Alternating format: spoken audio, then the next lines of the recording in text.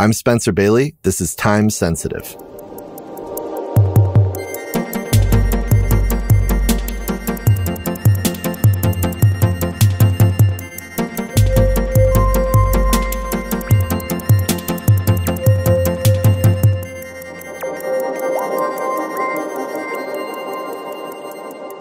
Hey everyone, for this week's episode, I'm joined in the studio by the Harlem based artist Sanford Biggers.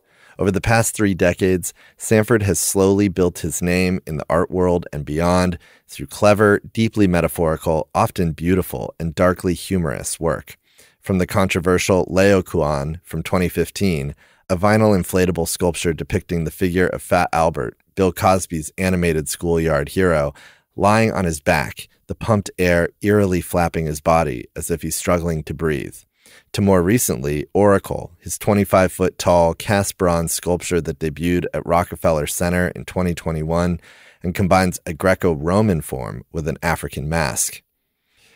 I've known Sanford for several years now, and ever since meeting him, have always been impressed with the way he quite literally weaves history and myth into his work which spans painting, sculpture, video, photography, mixed media, music, and performance, and includes a vast range of references, such as 1980s and 90s Los Angeles hip hop and graffiti culture, Buddhism, and monuments. Over the past decade in particular, Sanford's use of antique 100 plus year old quilts for his Codex series has become an especially potent and ritualistic part of his practice. What stands out to me about Sanford is his quiet rigor. As with his art, he is not someone who calls out for attention. Sanford's work astonishes in its ability to calmly and coolly have multiple meanings or winks embedded within it that reveal themselves to those who pay close enough attention. And to those who don't know, it's not so surprising to learn that he also plays keyboards in the band Moon Medicine. There's a certain groove and funk within all that he does, too. Before we get into the episode, I'd first like to thank our season 8 presenting sponsor, the Maison Van Cleef and Arpels, which this year is working with the American Museum of Natural History in New York to present the exhibition Garden of Green, exquisite jewelry by Van Cleef and Arpels at the museum's Mignone Hall of Gems and Minerals. On view through January 2024, Garden of Green showcases 44 creations from the French High Jewelry House, 32 of which are on view in the US for the first time. Creating a lush garden of jewelry, this impressive array of precious and ornamental green stones forms a dazzling journey that celebrates the beauty of gardens and nature. One area of the exhibition space highlights a diversity of green stones, another concentrates on particular materials such as jade, chrysoprase, and malachite, and a third displays a selection of majestic creations set with emeralds. You can learn more at www.amnh.org slash exhibitions. That's www.amnh.org slash exhibitions. And now, here's my conversation with Sanford.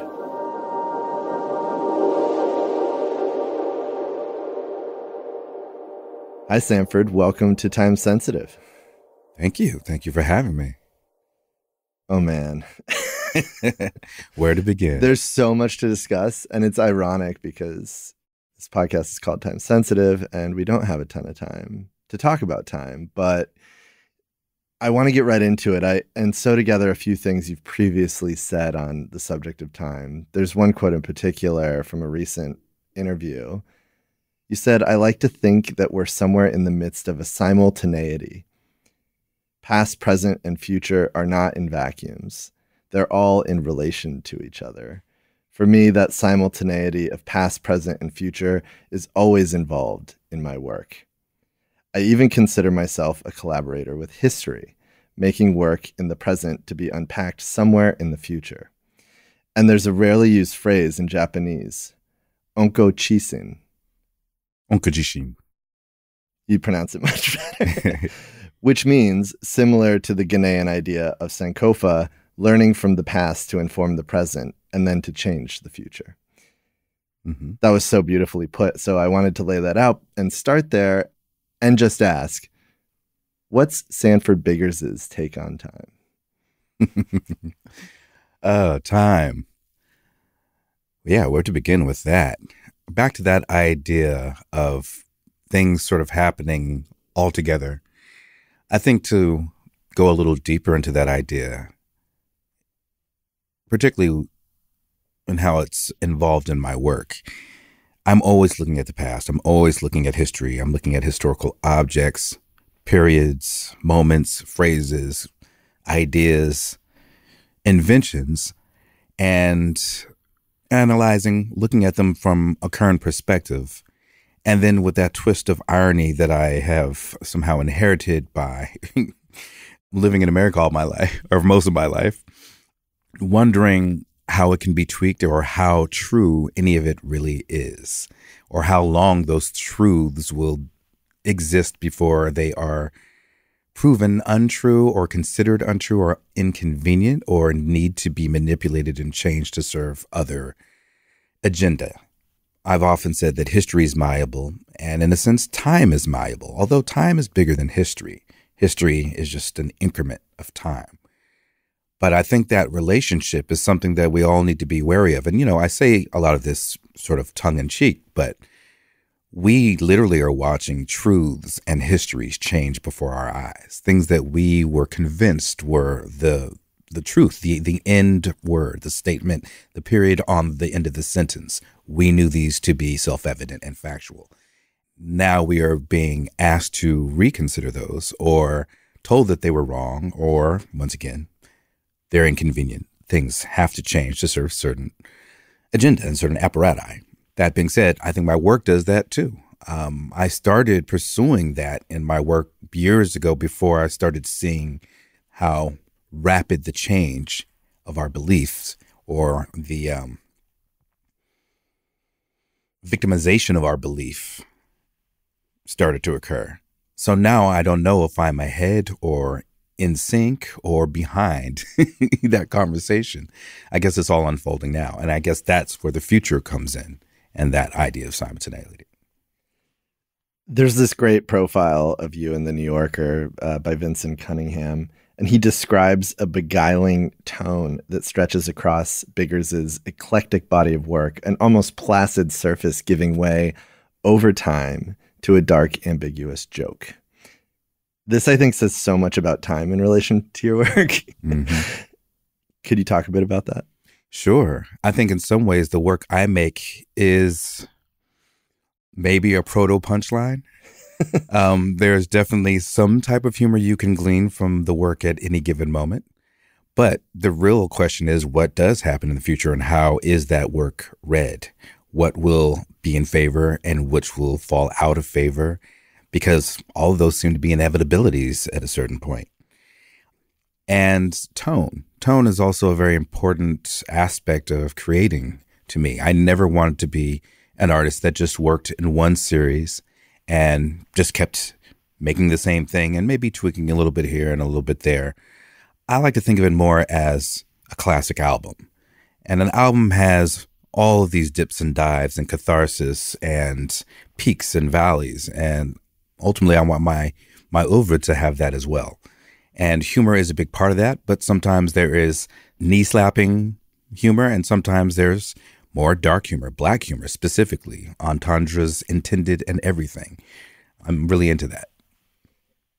You've also mentioned before that you have a certain anxiety about time. that you want more of it, basically. It seems like this is a feeling of you kind of looking both far into the past and into the future, but being firmly grounded in the present to the second almost. Is that how you see it? It's a recent phenomenon. And I think it's basically after becoming a father, number one. And the second aspect is losing both of my parents in the last five years. So a sense of mortality. Also, um, you know, speaking of humor, I was laughing and didn't consider time at all for years. And then all of a sudden I turn around and I think, well, is the joke on me? Time always catches you, right? So I think that sense of mortality, you know, it's real. Um, I am over 50 years old, so it's something to consider. And what am I able to do? What am I able to leave behind? Talking about time with you, we have to talk about hip hop. Mm. Mm-hmm. And we'll probably get into hip hop a bit more later too. You've said that you consider hip hop DJs to be time travelers. Mm-hmm. Could you elaborate on this DJ quality of your work? Because I also think that there's a sort of time traveling element of your practice and this notion of a DJ as a time traveler more generally. Sure. Well, I see the DJ as also um, related to a jazz drummer or uh, an improvisationalist in the sense that they're time travelers because they literally stretch and bend time. And drummers do this, as you know, from personal experience. um, and musicians do this, and you see it very um, blatantly in jazz because that is one of the hallmarks of jazz to be able to shift and change things and to break the norm and break the pattern. And DJ specifically, literally queuing up and changing pitch and changing time, and then taking old records that may have been played at one tempo before and chopping and screwing and slowing them down and turning them to a different tempo, or even taking small pieces from any of that and changing the pitch up or pitch down. So, DJs and producers, especially with music today, it's all about time and bending time and traveling through time in that sense. The DJ also has the um, added, uh, let's see, um, mobility of playing things from the present and playing things from the past. So even referentially speaking, they are traveling through time. And where that comes up into my work is thinking about movements and references and inspirations in the exact same way. I don't hold deference to things that were made thousands of years ago. I look at them as just another tool in the tool chest or another color on the palette and I try not to give them any more power than something that might have happened this morning uh, or, or something that might happen tomorrow. And look at them as all fodder to play with because once you start to combine and recombine and mix and juxtapose those things, it suspends your sense of time. If we don't learn from the past, what are we really doing? So we have to put those lessons learned into whatever it is we create, whatever it is that we do to push things forward. I know it's ambiguous sometimes, but that is what we all, humankind, do. You are a musician too, so should bring that up here. you play in this band Moon Medicine, and I think it's worth mentioning that there's a certain musicality within your artwork beyond the fact that you happen to play an instrument, several instruments. I know you play keyboards. I play keyboards and pianos, so mostly there, harmonica a bit, um, triangle. percussion. mm-hmm. Talk about this musicality and this sort of transference from your music self to your visual art self. Um, yeah, I think you know music got me into art in the first place. I grew up um, trying to play music, you know, playing by ear largely, playing with garage bands and playing things that I could pick up directly from the radio, and then specifically when I started to listen to more jazz as a teenager, I wasn't able to jump right in and figure it out because it's just a higher form of math. And at that point is when I started to draw and paint images of the people I was listening to. So it might be Mahalia Jackson or early Ray Charles or Mingus or Monk or people like that. And just by really trying to make my own posters and my own images to have in my room, I found that I had this ability to create art. And then hip hop happened and I started doing graffiti. So there was that. But all of that I think was really inspired by music. And I think it's because that was really accessible to me as a child. And it was in constant conversation amongst my parents and friends of the family, all of which were lawyers and doctors and not musicians at all. But there was a great admiration for the musicians because the musicians at that time, on a certain level, were the avant garde, specifically in jazz. Pop music and all that came a bit later, but even then, there were things that were happening musically, sonically, in terms of exposure to ideas coming from the African American community, reaching a much larger audience. There was something revolutionary happening. And I like to keep that energy, take that energy, and try to put it into art because when I started to really study art and go to grad school and so on, the funk wasn't there. And it was an argument, it was a problem. Yeah. And I was old enough to uh, absorb and listen to everything that was being said, but I just disagreed with so much of it. And I was like, I have to find a different way of expressing. Luckily, I think a lot of those issues um, are by the wayside now. I think, you know, I think it's another reason why I've always been a sort of a multi genre artist. And I think it might be one of the reasons there's so many multi genre artists now. It's because to work just in one silo didn't make sense to me. Just like listening to a musician, I'd love to hear one album that sounded one way and the next album sound differently. I remember waiting every four years for a Stevie Wonder album to drop because it literally was a journey. It wasn't like, oh, I hope he does something like that last one. We knew he wasn't going to do anything like the last one. And for better for worse, I attack each of my projects that way, trying to do something, mine something different from experience. The poet Reginald Dwayne Betts, when he was on this podcast, talked about his time in prison through the lens of the Roots and how every time the Roots put an album out, it was like a marker of time. Wow.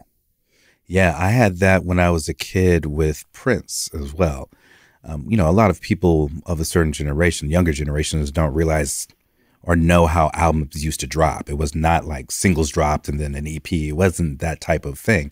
It was literally an album, and it was a major thing. It would come out, and you would not hear anything from those artists for a couple of years while they were making the next album. Whether they had the material already or not, it still was not released for a while. And that was the thing. You remember that. So it was like you waited for that, especially for your favorite artist. So you had time to basically absorb and learn and experience those albums for extended amounts of time before your favorite artist put something new into your head or something new into your mind. Yeah. And your brother played bass, right? So you, you grew up around music in the house. Tell me about that, your relationship with him from a musical kind of.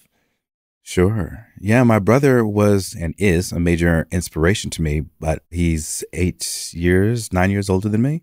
So as a kid growing up, he was my first immediate young role model. And he was the coolest thing possible, you know, for a young boy. I was like, I got a big brother, so I'm gonna do everything he does. I want to wear my hair like him and dress like him and talk and act like him. And he was obviously getting a lot of his information from what was happening in pop culture around him and the new slang and, you know, playing bass in a funk band and then going into jazz fusion, you know, which was a new form of music that was blending popular music and electronic music to jazz, but it was, you know, played by virtuosi. So I would listen to he and his band um, perform, you know, playing and practicing in the garage. And then I would hide. We had this layout in our house where he had a room on one side of the house, but there was a bathroom nearby, and all the sound from his room would go into that bathroom. so when they would listen to Dick Gregory and Richard Pryor and Redd Foxx records, I would sit in there and listen because, of course, there was a lot of profanity, so there was no way I could be in the room with them. But I was still listening to them and laughing and trying to figure out what they were talking about. And, you know, I think that's where I got some of my sense of humor as well. And, you know, it's interesting how autobiographical, in a weird way, the work I make is. It's such a subversive scene. You sitting, listening, kind of, you know. Yeah. Well, you knew something was happening and you knew it was something that was bad and it was something that was enticing because of that. Yeah. I think that's an energy that I strive for too. While we're still on time, not that we'll probably get off of it, but I did want to bring up your BAM series of gunshot silhouettes, which date back to 2015 Bam for Sandra, Bam for Philando, Bam for Michael, so on.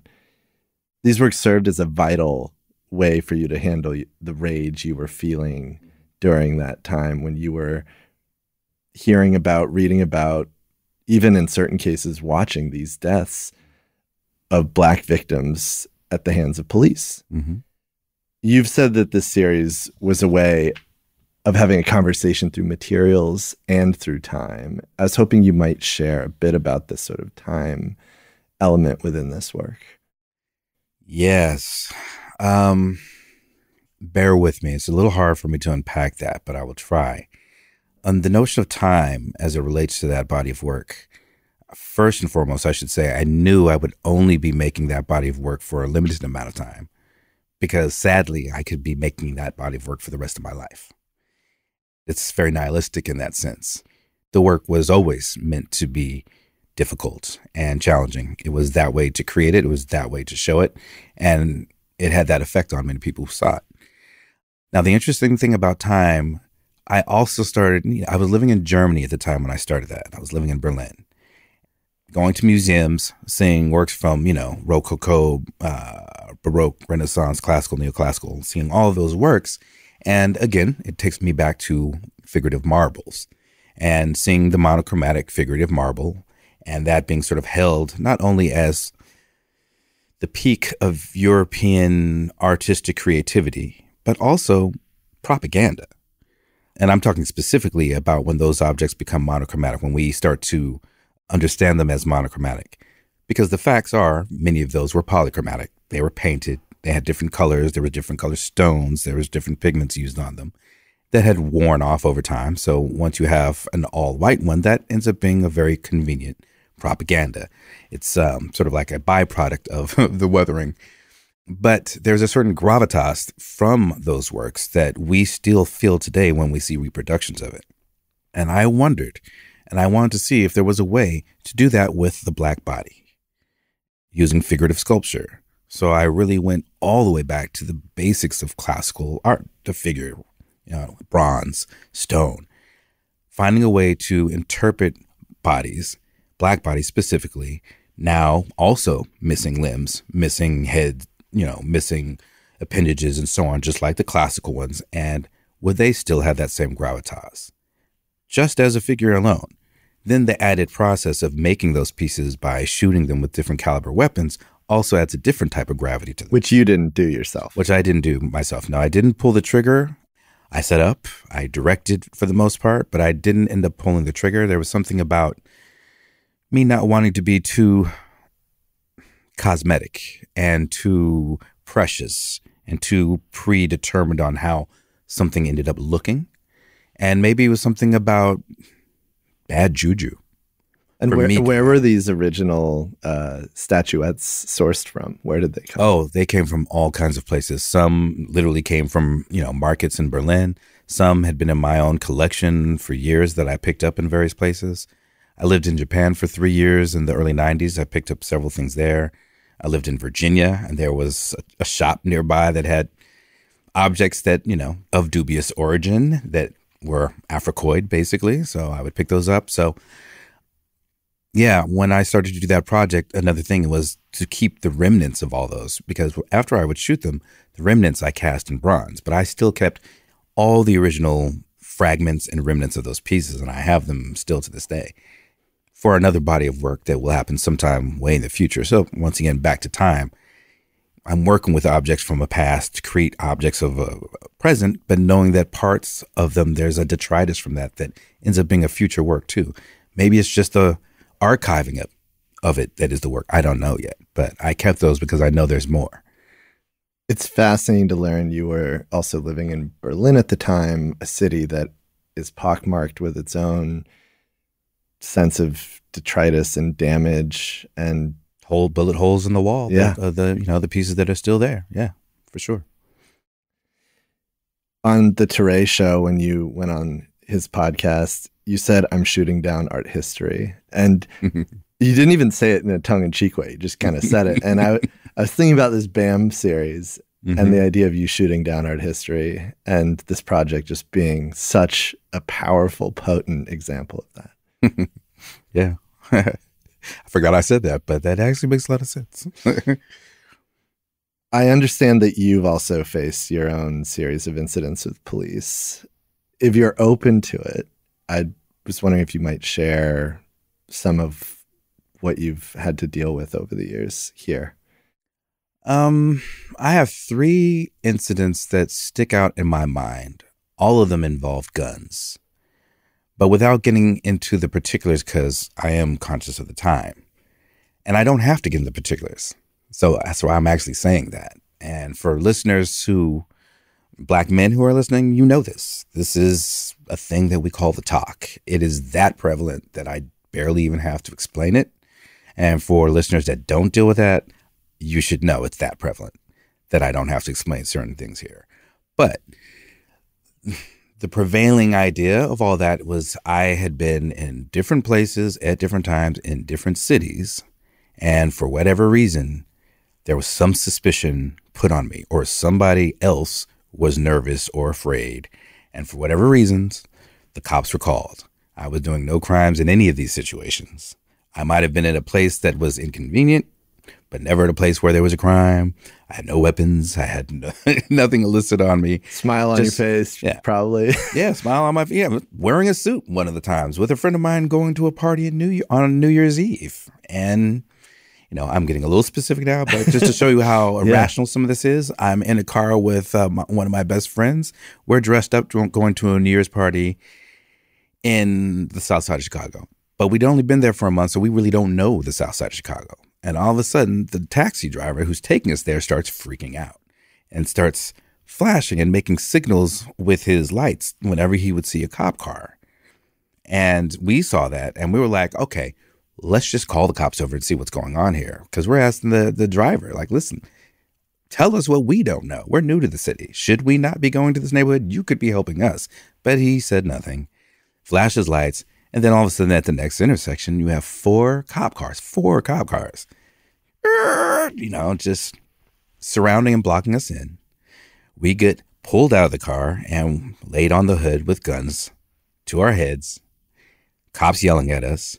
Meanwhile, the cab sees another fare. The fare jumps in the cab and they leave. So now it's just me and my boy in this intersection with cops all around us. And they're yelling at us and screaming at us. And finally, they realize we're up to nothing.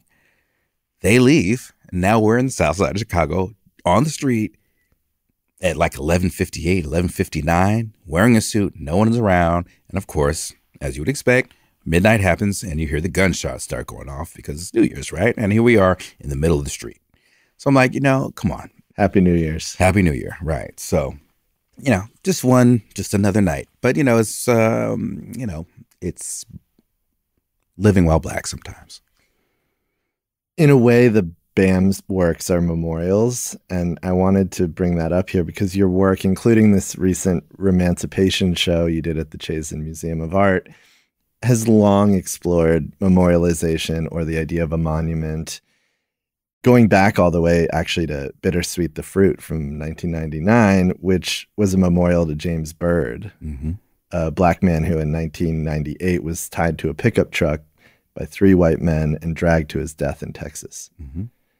Brutal murder. Could you speak to the memorial threads within your practice and uh, kind of take me from Bittersweet the Fruit to this BAM series? I think I've been really influenced by reliquary works and altars and shrines. Um, I spent a lot of time in Japan and Thailand and India and various countries throughout Africa and South America. And I'm always drawn to the religious works, you know, the reliquaries, the shrines, the process, the uh, performative nature of it, the ritualistic nature of it, the adornment of objects, and the power within the objects, power objects. You know, that whole history is the bedrock of all of my objects. No question about that. So I think around 1998, when I made that piece, it was a way of taking that influence and making an object. But at that time, I still needed to ground it in some way and not make it an object that was mimicking something else. And once that event happened, it made sense that the work I was doing at the time could be seen, at least by me, as a memorial to James Byrd. And the piece was a tree. Oh no, it was a video piece that I did um, when I was at the Skowhegan residency in Maine. I put a piano in the woods and I would go out every afternoon and disrobe and play the piano in the woods nude. Once again, just a thing I did. It was a ritual, didn't know where it was going to go. And then the James Byrd incident happened and it started to occur to me that that video itself ends up being some type of eulogy or choral uh, voicings that express a lament basically for the loss of this life. And putting that in a tree and seeing photographs of, you know, the sort of rural areas that they drove through when they dragged him to his death. There was trees everywhere. And it all started to come together, and that became a type of memorial to me. So, going back to 1970, you're born in Los Angeles. Your father was a neurosurgeon, your mother was a teacher, and, and raised the three of you. You also had an older cousin, John Biggers, who I wanted to mention here, mm-hmm. who was an artist in the 60s, known for these large scale or mural works. Mm-hmm his work seemed to have a profound impact on you, mm-hmm. to state the obvious. and, and, I understand at some point you you got to show him some of your early work. Mm-hmm. Tell me about your relationship with John and also how you view his impact on you over time.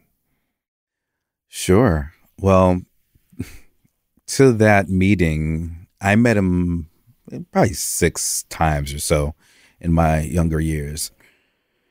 In my home, there were images by artists like Charles White and Elizabeth Catlett and Ernie Barnes and John Biggers. So those were my early, the first early images I saw of art. So that informed me from uh, the start when I realized that John was an artist and that he was a relative, um, it was because he was having a show in LA. And as I mentioned, my um, parents and their friends, they were into the musicians at the time and they were into the artists at the time. And we had John come to the house. I think we had him at the house for like just a couple of people to say hello. And then we all went uh, a few days later to his exhibition that was at the California African American Museum. We used to call it um, the Afro Am back then. It's CAM now, which interestingly enough, they gave me a solo exhibition for the Code Switch show um, a few years ago. That was part of that traveling exhibition. But anyway, I went to that show and there was a day where he'd be there and signing books and so on. So we'd already gone to the opening and saw him there, but I went back another day with my portfolio. And I think he looked at one or two pieces and I was waiting for critique or some advice. And then he just sort of put it all back in the portfolio and zipped it up. He's like, and looked me in my eyes and was like, why do you do this? What is this for, for you? So basically, he got to the point being that my intention were as important, if not more important than anything I could ever create. And, you know, it was a very, uh, let's say, um, enigmatic message, but it's one that stuck with me. And, you know, I think it shows in my work there's a certain degree of myself. It's very sort of like, I'm very deep in the practice, let's say. So there's that. And then, of course, learning more about his work and seeing more of his work. Um, he was doing figuration uh, before he took a very important trip in 1957 to Ghana, which led him to study African textile and a lot of um, the creative expressions that he saw there and throughout various countries. And then he started to use pattern and geometry in his works. And then later, when he was back in Texas, teaching, he and another professor started to develop a whole, basically a, a manuscript of sacred geometry and the way they saw it. And I found myself, once again, I think this started in grad school. I'd already lived in Japan for a few years. I was in grad school trying to find a voice, trying to find a motif to work on. And I didn't want to go into geometry the way he did, but I started to look back. Oh, and this came from a piece of advice from Dr. Leslie King Hammond, who was at uh, Maryland Institute College of Art, where I did a postbac prior to going to Chicago. And she advised me to find a way to put my autobiography in the work. It doesn't have to be representational at all, but personal experience needs to go into the work. I started to synthesize my time in Japan and my fascination with mandalas and the pattern work there. I started to basically get my sense of geometry and pattern from those motifs and find different formats. I started with carving out pieces of rubber and making dance floors that look like mandalas, and then activating them by having break dancers perform on them. And then gradually, over time, sand mandalas that look like graffiti, and then ultimately quilts and finding quilts and repurposing and intervening with those, which is what I'm still currently doing. Hey everyone, taking a quick break here to tell you a little bit about our season 8 presenting sponsor, the Maison Van Cleef and Arpels, which this year is working with the American Museum of Natural History in New York to present the exhibition Garden of Green, exquisite jewelry by Van Cleef and Arpels at the museum's Mignone Hall of Gems and Minerals. On view through January 2024, Garden of Green showcases 44 creations from the French High Jewelry House, 32 of which are on view in the US for the first time. Creating a lush garden of jewelry, this impressive array of precious and ornamental green stones forms a dazzling journey that celebrates the beauty of gardens and nature. To learn more, visit www.amnh.org/exhibitions. That's www.amnh.org/exhibitions. And now, back to the episode.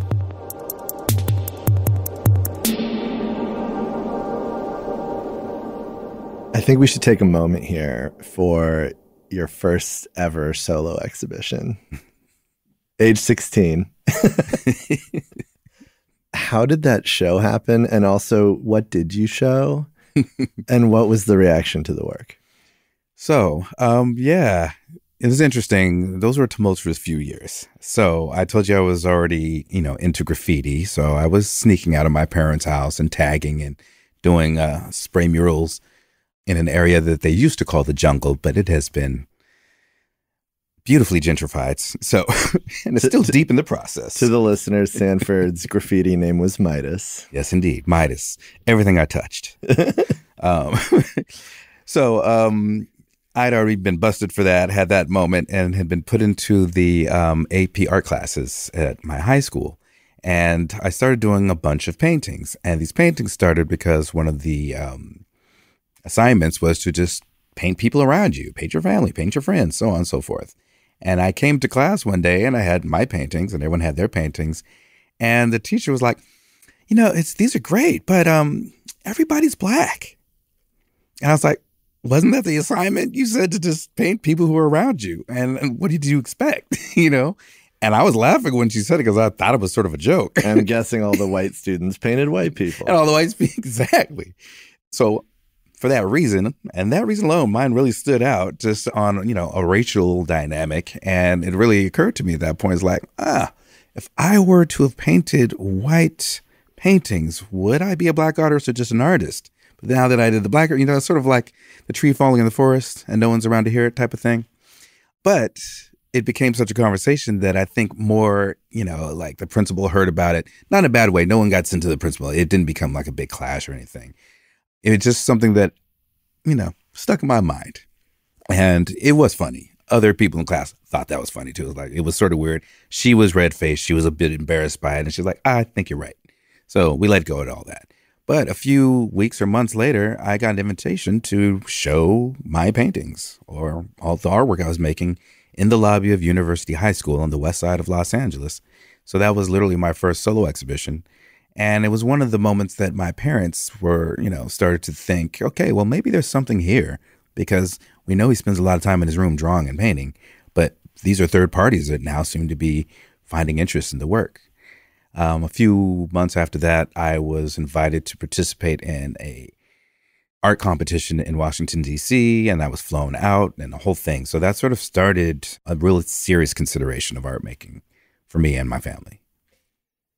You go on to attend Morehouse College in Atlanta, then, as you mentioned, the Maryland Institute College of Art and the Skowhegan School of Painting in Maine, and then finally the Art Institute of Chicago, from which you received an MFA in painting, mm-hmm. although you didn't really create paintings. Mm-hmm. We can maybe talk about that. Does anything in particular stand out to you now, looking back on this sort of education journey and the work you're doing today? Yes. Um, while I was going to Morehouse, all male, all black college, there was a weightlessness that occurred because this was the first place that I'd ever been or spent time where race wasn't really a conversation. It's an all black school. There was no need to talk about being black it was a lot off your shoulders. You didn't have to justify yourself. People didn't look at you strange when you walked into a room. It was all sort of like, oh, okay, so we're just people now. So now what? And I went there thinking I was going to go into psychology. I was not yet prepared to go strictly into, um, you know, study art. And it's a liberal arts school, and they didn't really focus on art anyway. So I started considering myself to be a dual major, psychology and art. And I got there. They didn't have an art program. At that time. So I took all my art classes at Spelman. And by my sophomore year, I had already decided that there was no way I was going to psychology, that I was strictly going to be an artist and really just turned my focus in that direction. But my junior year, I left and did an exchange in Italy. I, you know, basically conceived of the whole thing because I was looking to get away to do something a year abroad. And it turned out that Syracuse University had these programs, and I was able to apply through them and go. And I got everything signed by my teacher, so it wouldn't hold me back. You know, I wouldn't lose any credits and so on. But while I was there, I realized something very important was that I ended up being a representative, not just of Black Americans, but Americans in general, because the conversations really shifted. And, you know, I would run into African folks that were living in Florence at that time, they would be looking at me like, we don't know where you're from. And I was like, okay, well, I'll tell you, I'm from New York. And then we had our own relationship. But then I remember them being treated a certain way and then me being treated a certain way. And if I was with them, I'd be treated a certain way. And if I wasn't with them and I was with like the white students, I was treated a certain way. And if anyone saw the American passport, I was totally treated a very different way. I realized at that point that to some degree I was being an ambassador for this country. And I had the ability to have conversations and enlighten people about realities. And I hate to say it, it sounds very stereotypical. A lot of the black Americans that were there at the time were, you know, either entertainers or, you know, athletes. So there was a certain sort of narrow scope and expectation. So when they started to come across people who were not that and didn't fall into those, it really broadened their perspective of what America might be.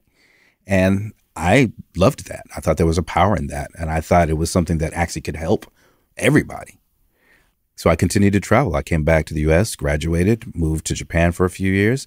And after I came back and got through grad school, I did residencies for like almost 10 years all over the place. One of the residencies I wanted to bring up was the one you had in 2000, just a year before 9 11 at the World Trade Center. Mm-hmm. Yeah, that, you know, it almost seems like the thing of myth right now. At the 91st, 90th and 91st floor, if I remember correctly. So we were really, really high up there. And it was an open space, and there were several artists there. I'm sort of a night shift person, so I would work mostly in the evening, and there were a few of us who were on that shift. There were, you know, others that were daytime and early morning. So it was sort of like being in a weird dreamscape while we were there because you were so out of reality. There was no moorings of reality around you. Your head's literally in the clouds. Your head's literally in the clouds. You could see helicopters at eye level as they passed by. It was pretty wild. But of course, um, you know, four months after I finished my tenure there is when 9 11 happened. And of course, that even threw that memory and, and that that part of my life into more disorientation, more confusion. It's hard to even imagine that I was there and a part of that somehow. What work were you making in the tower? Do you remember? I do. Uh, the final work that I made there, which I remember mostly because it was definitely the hardest, most ambitious piece that I'd made at that time, was a huge headboard for a king size bed that was shaped like a large afro pick. and there was a large, you know, life size, larger than life, obviously, larger than life afro pick that was clad totally in black leather. And it was attached to a king size bed, and the bed had red satin sheets and a faux fur comforter on it. And it had a lot of power. People would either stand back away from it, or if someone ventured to touch it or sit on it, then people would gather around to see if there was a performance about to happen. So that's when I learned something about the performativity of an object and how its interaction with people literally ends up being a performance, whether it's intended or not. So I learned a lot from that, and I did consider that a power object at that time. It was playing with the notion of a power object as well. Got to talk about Japan here. You mentioned your early years in Japan, but you also went back for a residency in 2003. Tell me about your quote unquote Japan time and how has that found its way into your work or how is it embedded in your practice yes so japan i had a dual life and you know you might say that for many people who live in japan um, if you're familiar with japan there is this notion that there is the individual that you are at home and with your family and with your loved ones and then another individual that you are when you're in society or it's your job. And of course, it's a culture that's based a lot of, you know, on a lot of deference and formality, which I actually sort of enjoyed some of it. But at night, you're also able to be yet another person. So you could be at your job all day in your suit and tie. You're there from seven or eight in the morning all the way to six or seven at night. And then you go with your coworkers to eat and drink.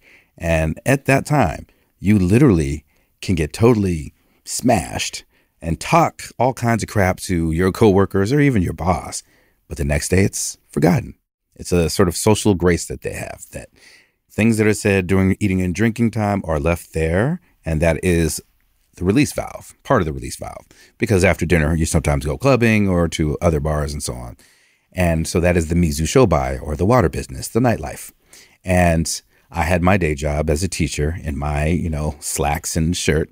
I was team teaching in Japanese high schools and junior high schools. And then at night, I was part of the nightlife. I met a lot of interesting characters and friends who were DJs and shop owners and restaurateurs and so on, models. And, you know, I loved it. It was great. But they also had trash, gomi. When people put out their trash, they wrap it up, they clean it, they put it out in a very presentable fashion, and people can come and take it and reuse it. And these things were appealing. It's not like the garbage that we have here that literally we throw it out, don't want to see it again. You know, you could literally furnish your entire apartment by the things you find on the street there. So I started to pick up objects and I started to make found object sculptures. So that's sort of deepened my affinity towards objects and found used materials. So the BAM series kind of connects. BAM series, the quilt series, yeah. definitely. The quilt series also um, by thinking of wabi sabi, the idea of the only perfection is imperfection, and the way things age is actually the way they are supposed to be, and that notion of even a teacup that is broken can be put back together. Kintsugi. Kintsugi, exactly. So you can gild all the cracks and then it still becomes a beautiful object. So that is also baseline with my practice even today. There's also this love of craft in Japan. Love of craft. In America, we've maligned craft. I feel like it's like it's like oh cute, it's on Etsy. Yeah, but people in the the art world tend to be like oh craft. Mm-hmm. Okay, yeah. But yeah. your practice ingeniously combines art and craft in this way that you don't even think about the craft element of it. It just is. It's there. It's embedded in it, and it's still elevated at this level of art. And that conversation shifting a lot. Mm-hmm. You've talked a lot about this. I mean, Isamu Noguchi, Martin Puryear. Um, there's lots of um, material alchemists out there that I think traverse those lines, that conversation between craft and fine art. And yes, they, it goes up and down in terms of its popularity amongst the art industrial complex.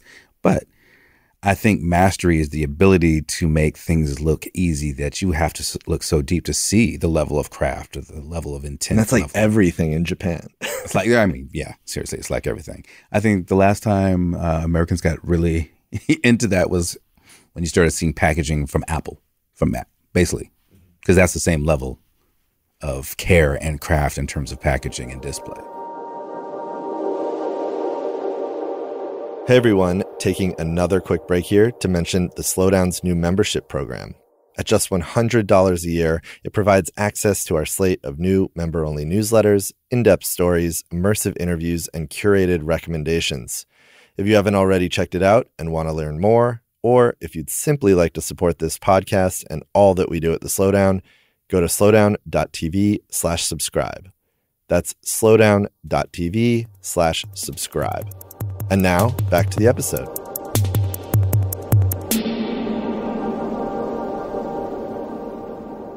Some of your work, if we're going to make more literal translations or the sort of transition from Japan to your work direct, there's Lotus, there are direct references. Mm. Could you talk about some of those symbols, some of those references? Sure. Um, and it goes back to that conversation with Dr. Uh, King Hammond.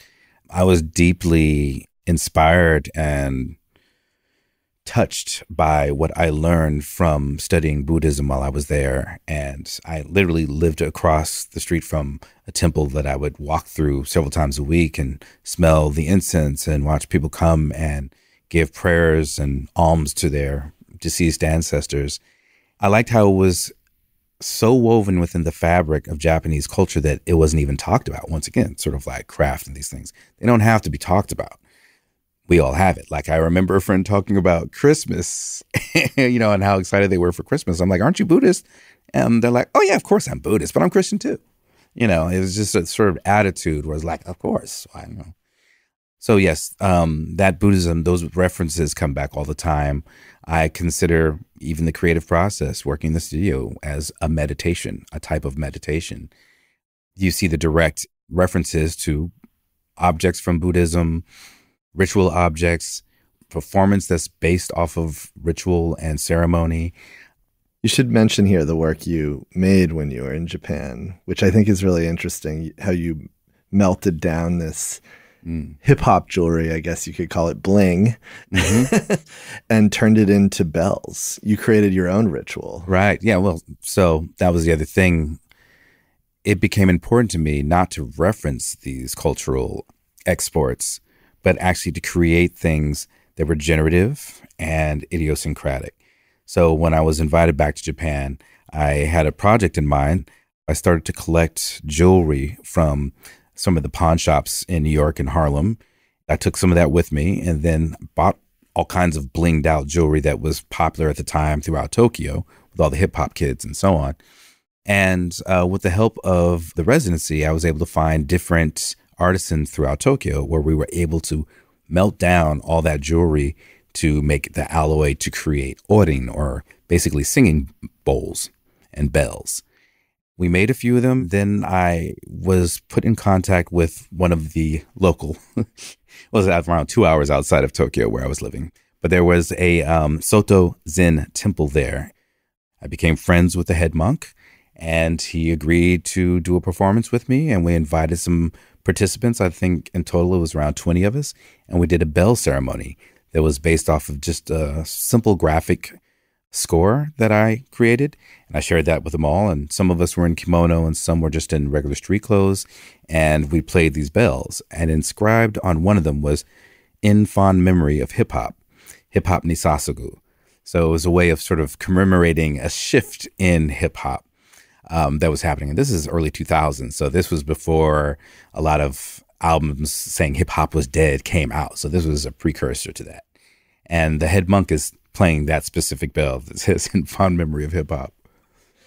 I love this idea of the golden age of hip hop, and it's this gold bell. it's good. You've also spent time in Italy, as you mentioned, and you said that your second language is Italian and your third language is Japanese. There's this fluency idea here, and it plays up in your work this sort of mobility between media and between materials and modalities and languages. How do you view these sort of linguistic gymnastics, mm. let's call it, and the ability to transition between language mm. in the context of your work? Well, I think, you know, working in different materials and different um, genres is also a sort of um, polylingual approach. It's, it's, you know, it's like being a material polyglot, basically. I find that painting might say something very different than sculpture. And even performance speaks a different language. And playing piano is a different language, but all of them can create very complex narratives, complex stories, and so on, especially when put together. So I think having that occur at a very early age, you know, I was, you know, exposed to Italian in undergrad and then Japanese, you know, right out of that.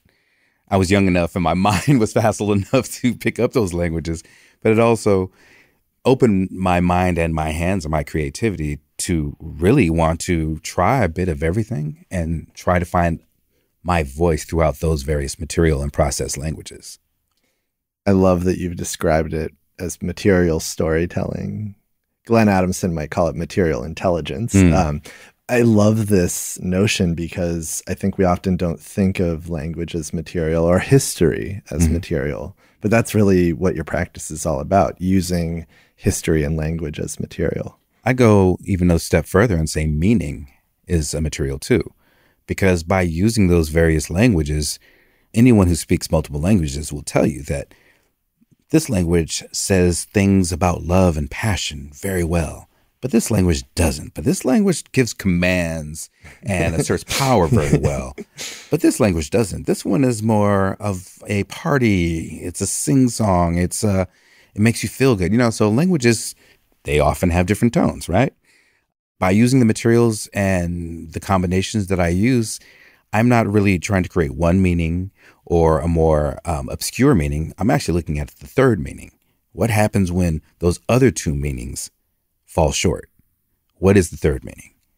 And that's something that I can't predetermine. That involves the viewer specifically.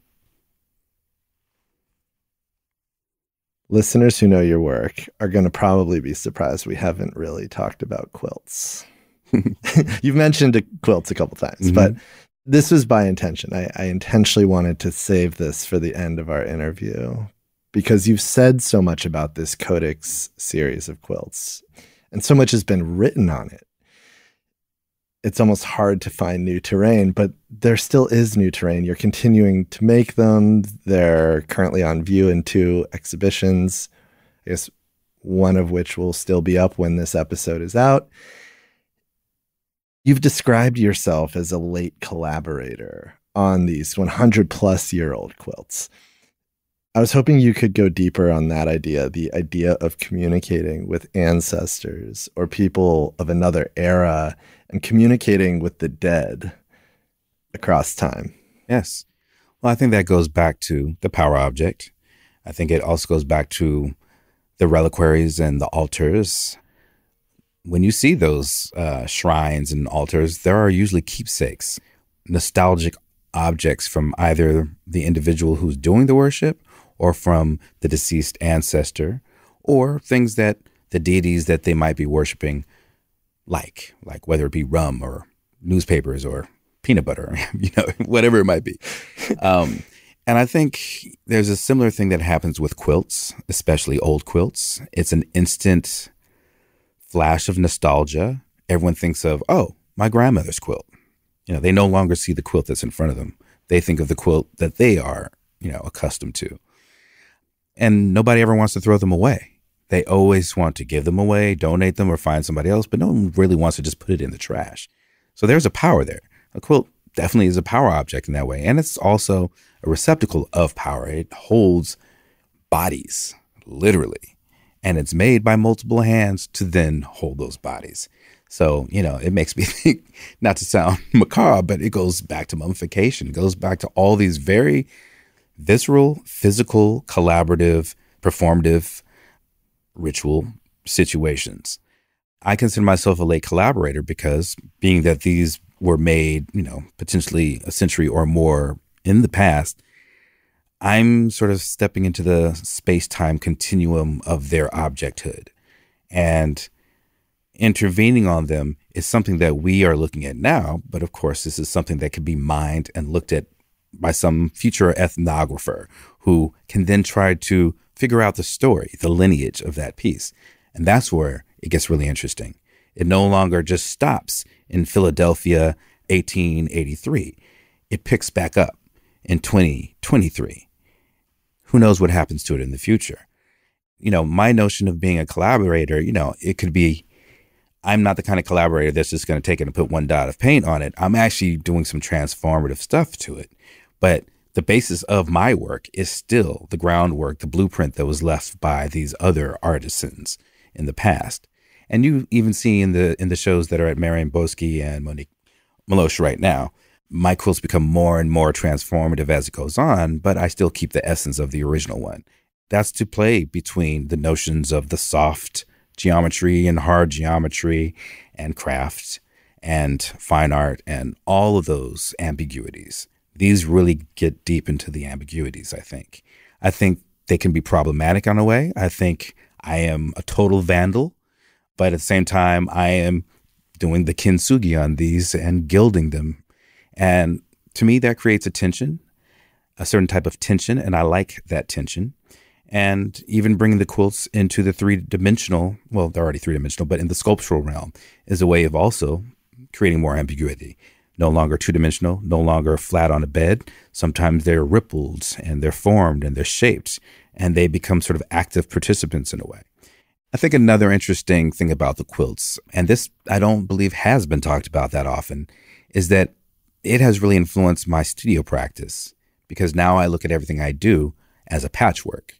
It's not the literal patchwork that you see on a quilt, but it is the patchwork of time and the patchwork of history and the patchwork of language and patchwork of travel and experience. So even my marble works, where you're literally seeing Greco, Roman, African, pre Columbian, and I can go on and on, influences and references, those are all patchworked as well. And I try to do it in a way, the same way I approach the quilts themselves, is to obscure what the original form was and what my intervention was, so that it's not just pointing a finger at one thing, but actually creating a totally generative new work that is unique in its own right. But it is the receptacle of all those influences that go in. DJ. Sanford, thank you. Thank you. Thank you. Extra thanks to our Season 8 presenting sponsor, the Maison Van Cleef and Arpels. Van Cleef and Arpels' jewelry is characterized by a distinctive blend of poetry and refinement.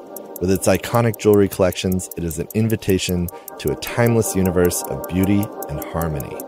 You can discover more at vancleefarpels.com. That's V A N C L E E F A R P E L S.com. And thank you for listening. You can find more episodes of Time Sensitive on our website, timesensitive.fm or wherever you listen to podcasts. You can follow us on Instagram at slowdown.tv. To join the Slowdown's new membership program, which provides access to subscriber only newsletters, in depth stories, immersive interviews, and curated recommendations, go to slowdown.tv slash subscribe. That's slowdown.tv slash subscribe. Our theme music was composed by Billy Martin. This episode was produced by Ramon Broza, Emily Jang, Mimi Hannon, Hazen Mayo, and Johnny Simon.